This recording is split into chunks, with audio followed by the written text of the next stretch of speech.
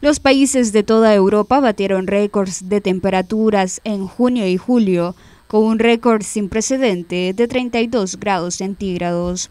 En este marco, un nuevo estudio sobre las temperaturas observadas muestra que el Ártico se está calentando cuatro veces más rápido que la tasa de calentamiento global. La tendencia ha aumentado abruptamente dos veces en los últimos 50 años, un hallazgo pasado por alto por todos menos cuatro de los 39 modelos climáticos, según los especialistas del Laboratorio Nacional de los Álamos, dependiente del Departamento de Energía de los Estados Unidos. 30 años se considera el mínimo cálculo lógico para representar al cambio climático, afirmó un físico e investigador del clima en el Laboratorio Nacional de los Álamos y autor principal del estudio. En esa escala más pequeña y contrariamente a investigaciones anteriores, que encontraron que el índice de amplificación del Ártico aumenta sin problemas. Se observaron dos pasos distintos,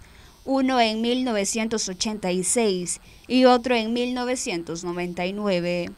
Los especialistas cotejaron la tendencia de temperatura de 21 años en el Ártico frente a la temperatura global generada en ese mismo tiempo. En su análisis determinaron que el índice del Ártico era superior a 4 en las primeras décadas del siglo XXI, cuatro veces más rápido que la medida mundial y considerablemente más rápido que lo que habían determinado investigaciones publicadas anteriormente utilizando intervalos de 30 a 40 años. El estudio no identificó una causa para estos aumentos relativamente repentinos, pero los autores especulan que las causas contribuyentes probablemente sean la retroalimentación del hielo marino y el vapor de agua, combinados con cambios en la forma en que el calor atmosférico y oceánico se mueven hacia el Ártico. Es probable que los futuros aumentos en el índice de amplificación del Ártico sean menores a medida que disminuya la diferencia de temperatura